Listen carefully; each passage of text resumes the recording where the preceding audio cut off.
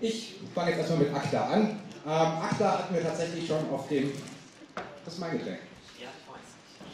Ja, danke. Du sonst mein Aufgeber nicht? ähm, ja, ACTA hatten wir schon auf dem letzten netzpolitischen Abend. Das war eigentlich so ein ähm, ganz lustiges Datum. Ich glaube, das war der 16. Januar. Und der 16. Januar war der Vorabend zum Black Friday. War es eigentlich ein Friday? Nee, war wahrscheinlich ein Black Wednesday. Äh, in den USA auf jeden Fall zum äh, Anti-Soper-Aktionstag, der dazu geführt hat, ähm, dass wir auf einmal diese ACTA-Debatte hatten. Also ACTA gibt es seit 2006 oder zumindest seit 2006 wird das Ganze verhandelt. Ähm, wir verfolgen das schon seit spätestens 2008. Es hat aber nie jemanden interessiert. Also wir saßen da beim CCC-Kongress mit lauter europäischen Aktivisten zusammen und alle waren ein bisschen deprimiert, dass keinen ACTA interessiert, dass das Ganze durchgeht. Dann kam dieser Black, äh, Black Anti-Soper Day in den USA. Wikipedia hat sich äh, geschwärzt. Es gab Berichterstattung in Deutschland und auf einmal ähm, stellten viele fest, oh, sowas ähnliches droht uns ja auch durch ACTA. Und auf einmal hatten wir diese ACTA-Debatte, was ganz lustig ist. Ähm, die große Frage ist immer, worum geht es eigentlich bei ACTA? Ähm, man hört dann immer ganz viele ähm, Juristen, die der Meinung sind, damit verändert sich überhaupt nichts, das ist nur ein Vertrag, haben wir schon alles in Deutschland. Ähm, wir sehen das ein bisschen anders.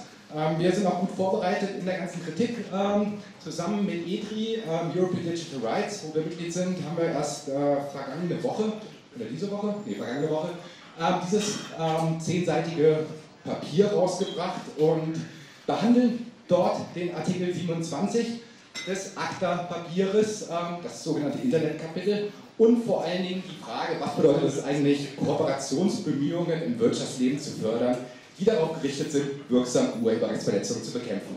Das ist eigentlich der Schlüsselsatz in ACTA.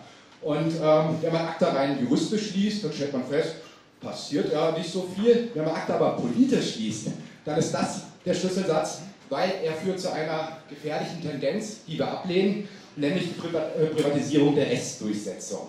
Wenn Grundrechte auf einmal von Unternehmen gemanagt werden ohne dass der Rechtsstaat da eine große Rolle spielt. Wir kennen das aus der deutschen Debatte. Diese freundliche Frau hat das im Jahr 2009 schon mal versucht, mit einer freiwilligen Vereinbarung zwischen Providern und ähm, ja, dem BKA eine freiwillige Kooperation einzuführen, um damals den Zugang zu kinderpornografischen Inhalten zu blockieren. Daraus kam das Zugangsverschwörungsgesetz Daraus kam die ganze äh, Zensursula-Debatte, die später zu einem Zensursula-Debakel wurden. Aber ähm, quasi das war das erste Mal, dass dieser Weg tatsächlich in Deutschland beschritten werden sollte. Es gibt viele Beispiele aus dem, vor allen Dingen im Ausland, ähm, um zu zeigen, was daran schlecht ist. Es gibt ähm, erste Domain-Beschlagnahmungen ähm, von ja, US-Gerichten, von US-Unternehmen gegen europäische Betreiber. Da ist nämlich die Situation zum Beispiel, ähm, dass Verizon, oder nee, VeriSign, VeriSign glaube ich, ähm, be besitzt sozusagen als US-Unternehmen die Zugriffsrechte auf .org, .net, .com Dateien, ähm, äh, Domains. Ich habe netzpolitik.org. Wenn ich Pech habe, ähm, kann mir so ein US-Gericht einfach mal meinen Blog wegnehmen, wenn sie halt der Meinung sind, ähm, ich könnte Urheberrechtsverletzungen drauf haben. Also diese Beispiele äh, gab es schon. In ähm, Irland hat der äh, Provider IACOM ein freiwilliges Three-Strike-System eingeführt. Also die schicken freiwillig Warnmodelle und kappen dann ähm, den ähm, Internetzugang.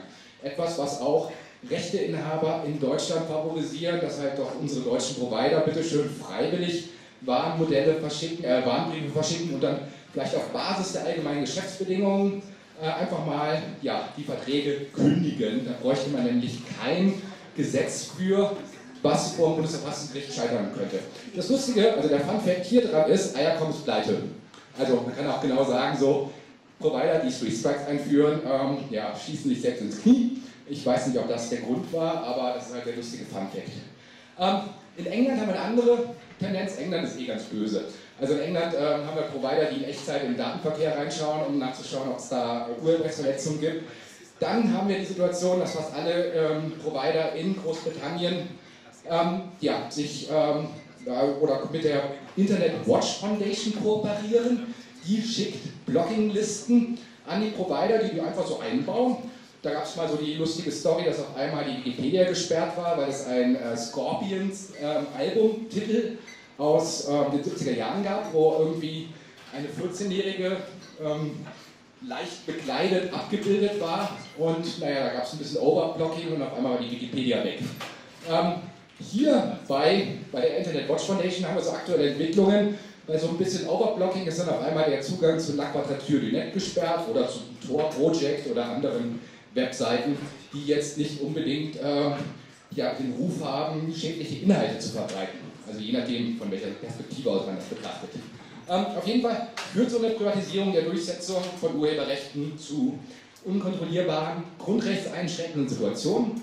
Wir haben ein ähm, 40-seitiges Papier, einen Schattenbericht ähm, online gestellt vor anderthalb Monaten, nämlich als Herr Otto eine Studie vorstellte. Herr Otto ist nicht von der GEMA, auch wenn das so aussieht.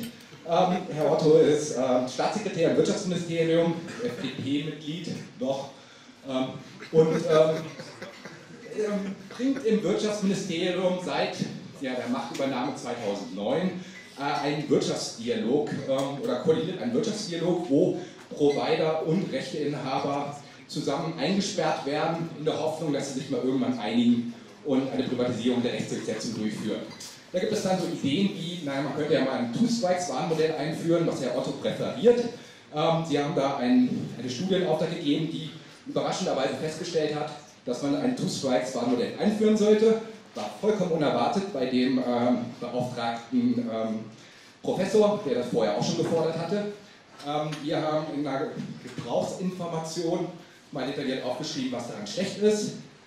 Ähm, mittlerweile gibt es auch so Papiere bzw. Informationen, was da noch die Forderungen der Rechteinhaber sind. Also Werbedienstleister ähm, sollen halt bei Download-Plattformen oder diesen Cyberlocker oder wie sie alle heißen, Plattformen ihre Werbung einstellen. Ähm, Vorratsdatenspeicherung soll freiwillig einfach mal ausgebaut werden, damit man halt das Auskunftsersuchen länger stellen kann. Ähm, dann möchte man noch mehr äh, Rechte zur Beauskunftung haben, um halt von Internetnutzern auch mal ähm, nicht nur die Adresse rauszubekommen, sondern auch die Bankdaten und so weiter, also von den Providern. Ähm, da ähm, gibt es halt so einige Fragestellungen ähm, grundrechtlicher Natur, ob man das überhaupt machen sollte. Naja, das äh, gilt es alles zu verhindern auf deutscher Ebene, aber wie geht es jetzt weiter bei ACTA? ACTA, ähm, ja, war kein Thema bis ähm, Mitte Januar. Ähm, dann war äh, Wikipedia weg. Dann fingen die Polen an rumzuhüpfen. Ihr kennt das vielleicht aus, der, aus den Medien. So hüpfende Polen jeden Abend, ähm, die gegen ACTA demonstrieren. Ähm, die Unsere polnischen Aktivistenfreunde waren auch ein bisschen verwundert, wo die alle herkommen. Ähm, das war so eine Gemengenlage aus, ähm, naja, irgendwie haben die auch alle aus der Zeitung gelesen, dass da die Wikipedia geblockt werden soll, haben das Ganze als Eingriff in ihre natürliche Medienwelt empfunden. Ähm, dann hat die Opposition das Ganze noch ausgenutzt, um halt gegen die Regierung zu bashen. Dann gab es so eine Gemengenlage aus Anti-Amerikanismus gegen die Regierung, irgendwie für freies Internet. Und das brachte halt so tausende hüpfende Polen die ganze Zeit auf die Straße. Das hat dann wiederum irgendwie deutsche Medien fasziniert und ähm, in Deutschland gab es dann auch die Idee, einen Aktionstag zu machen, der wurde dann europaweit am 11. Februar organisiert. Und auf einmal gab es dann in 200 Städten in ganz Europa Demonstrationen.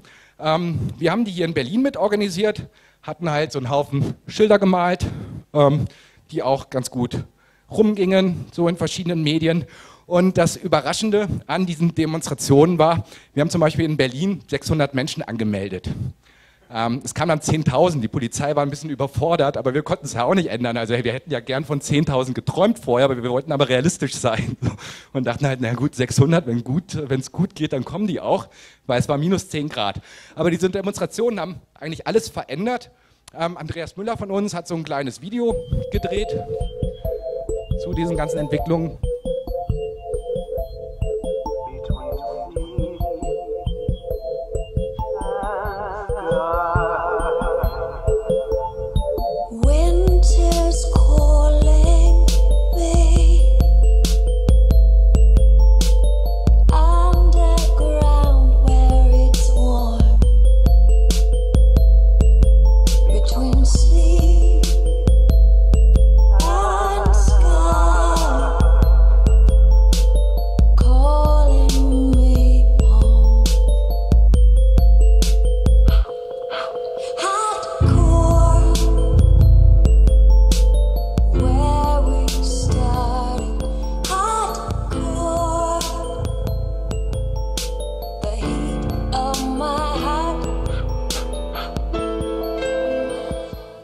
Ja, man sieht, ähm, Andreas hat fast keinen Effekt ausgelassen, den das Programm zu bieten hatte. Auf jeden Fall, diese 100.000 Menschen in Deutschland, diese 200.000 Menschen in ganz Europa haben einiges verändert. Das ist Karel de Gucht, oder Gucht, keine Ahnung, ist ein Belgier, ähm, EU-Handelskommissar. Und äh, Karel de Gucht ist halt der Mann hinter ACTA, also quasi seine Handels- äh, oder sein ähm, ja, ähm, EU-Ministerium, Kommissionsapparat äh, für Handel. Wie nennt man das eigentlich? Ah, Direktorat, genau, der Handelsdirektorat, ähm, hat ACTA für die EU ausgehandelt und naja, sein Kopf hängt da so ein bisschen dran. Deswegen hat er ein kleines Interesse daran, dass das so durchgeht, weil sonst ähm, ja, verliert er ein bisschen das Gesicht. Ähm, und er hatte dann zusammen mit seinem Kabinett die Idee oder die Vorstellung, naja, irgendwie muss man jetzt was tun, weil ähm, nachher hüpfen da hm, jede Woche weitere 100.000, 200.000 Menschen auf Europas Straßen und das könnte ja was anderes gefährden, nämlich die ähm, EU-Kommission versucht gerade oder plant, die Richtlinie zur Durchsetzung von geistigem Eigentum zu reformieren aus dem Jahr 2004. Diese Richtlinie hat uns damals irgendwie der, die Abmahnindustrie gebracht, die ähm, liegt im Geist von ähm, ACTA. Das, was wir bisher an Vorab-Leaks und so weiter gelesen haben, klingt alles wie ACTA und so weiter, also Förderung einer freiwilligen Kooperation. Und naja, auf jeden Fall hatte die EU-Kommission ein bisschen Panik, dass diese ganzen Proteste rüberschwappen in Richtung iPad. Und man dachte dann so den taktischen Move, tolle Idee, wir schicken jetzt einfach mal ACTA zum Europäischen Gerichtshof und der soll mal entscheiden, ob das auch alles so rechtlich korrekt ist. Wobei die Sache ist, wie gesagt, rechtlich mag das alles korrekt sein, aber wir bewerten ACTA politisch und ACTA ist politisch falsch. Und da kann auch irgendwie der, auch wenn der Europäische Gerichtshof feststellen sollte, was immer noch unklar ist, dass ACTA kompatibel mit europäischen Verträgen ist, ist ACTA immer noch falsch. Und wir wollen halt eine Abstimmung darüber. Auf jeden Fall dachte man halt, ACTA ist jetzt erstmal vom Tisch, eineinhalb Jahre in die Zukunft verschoben. Ähm, ja, und ähm, wir können jetzt alle Däumchen drehen, iPad kommt da zwischendurch rein. Dann hat auf einmal das EU-Parlament letzte Woche überraschend gesagt, nee, machen wir nicht mit, wir haben keinen Bock mehr auf ACTA. Also die Vermutung ist, dass eine Mehrheit im Europaparlament jetzt ACTA schnell durchziehen will. Also durchziehen im Sinne von, können wir mal schnell abstimmen, damit es weg ist so. Vor allen Dingen können wir das mal schnell ablehnen, damit es irgendwie weg ist. Weil da gibt es verschiedene Verschwörungstheorien. Also erstmal gibt es ähm, Liberal, ähm, Linke, Grüne, SPD, so ein Teil, ist ja immer ein komplexes System, europäische Sozialdemokraten. Ne? Da gibt es halt die äh, Labour-Leute und sonst irgendwie, die Hardliner sind bei geistigem Eigentum. Da gibt es halt wiederum andere, die ein bisschen vernünftiger sind. Naja, auf jeden Fall, die sind gegen ACTA. Die Liberalen würden es ganz gern ähm, überwiegend nochmal zum Europäischen Gerichtshof schicken, weil die sind der Meinung, die ganze Kritik ist unberechtigt. Und die CDU, CSU scheint so ein bisschen, oder die Konservativen scheinen ein bisschen gespalten zu sein. Also im Osteuropa wollen die alle ACTA weghaben, weil nachher springt halt der, der halbe Ostblock irgendwie auf der Straße rum. Das kommt nicht so gut. Und vor allen Dingen befürchtet man, dass in eineinhalb Jahren, wenn der Europäische Gerichtshof eine Entscheidung trifft, dass das ganze, diese ganze weitere Debatte in den nächsten EU-Wahlkampf reinfällt. Und wenn man halt für ACTA ist, ist es halt ein bisschen blöd, wenn die ganze Jugend irgendwie dagegen auf die Straße läuft und rumhüpft. Also scheint es im Moment eine Mehrheit gegen ACTA zu geben. Es ist vollkommen ungewiss, wir müssen dafür kämpfen. Auf jeden Fall könnte es sein, dass die entscheidenden Ausschusssitzungen, die ähm, quasi eine Vorwahl treffen, eine Vorentscheidung treffen, Ende Mai stattfinden und es dann Mitte Juni zu ähm, der Abstimmung in Straßburg kommt. Wir sind ein bisschen vorbereitet. Wir haben unter akta.digitalegesellschaft.de ein Tool, was nach dem Prinzip ähm, Bürger to Politiker läuft, ähm, online gestellt. Immer so lustige kleine Banner kann man in sein eigenes Blog einbinden. Man kann auch mitmachen. Dieses Tool zeigt halt mal ähm, kurz zusammengefasst Kritik an ACTA und lädt dann dazu ein, ähm, ja, Politiker zu kontaktieren. Wir haben die Politiker eingeordnet nach ähm, zu, äh, Zustimmung zu ACTA, ähm, Wackelkandidaten unbekannt. Also es gibt halt, ähm, ja, es gibt halt äh, Abgeordnete, die reagieren gar nicht auf äh, Bürgeranfragen. Silvana Koch-Merin zum Beispiel hat noch nie irgendeine Mail beantwortet. So. Die steht da halt unter unbekannt Wackelkandidaten. Und es gibt halt welche, die klar äh, sagen, sie lehnen es ab. Und wir sammeln halt quasi, also die Idee ist, ihr schreibt oder ruft an oder schickt ein Fax äh, oder einen Brief, ein, äh, kontaktiert einen Politiker, eine Politikerin, äh, fragt nach der Meinung zu ACTA, kriegt eine Antwort zurück, schickt die uns und wir sortieren die halt ein. Naja, Befürworter, Gegner. Dann gibt es halt diese Wackelkandidaten, sehr gerne aus der SPD kommen, die halt irgendwie so formulieren, dass äh, es klingt, dass sie ablehnen, aber wenn man Politiker Deutsch versteht, dann weiß man, die sagen eigentlich überhaupt nichts, aber das auf vierte Seiten oder so weiter. Ähm, die wollen sich ja nicht festlegen, aber das bilden wir halt alles ab. Man klickt dann auf so einen Namen drauf und ähm, sieht dann Kontaktadressen und wozu, ähm, ja, was die einzelne Meinung ist. Das Lustige ist, oder sagen wir mal, wir brauchen jetzt noch ein bisschen Mithilfe, weil das ist alles größtenteils der Stand von vor ein bis zwei Monaten. Wir gehen davon aus, und auch in Gesprächen mit vielen Europaabgeordneten, auch so aus Lagern, der konservativen Lagern und so weiter, hören wir immer wieder, dass sie mittlerweile ihre Meinung so ein bisschen am Ändern sind. Wir brauchen halt aktualisierte Meinungen. Könnte zum Beispiel sein, dass Herr Kaspari, der für die CSU, CDU federführend ACTA betreut von deutscher Seite, mittlerweile der Meinung ist, dass ACTA keine gute Idee ist. Aber wir haben diese Information noch nicht.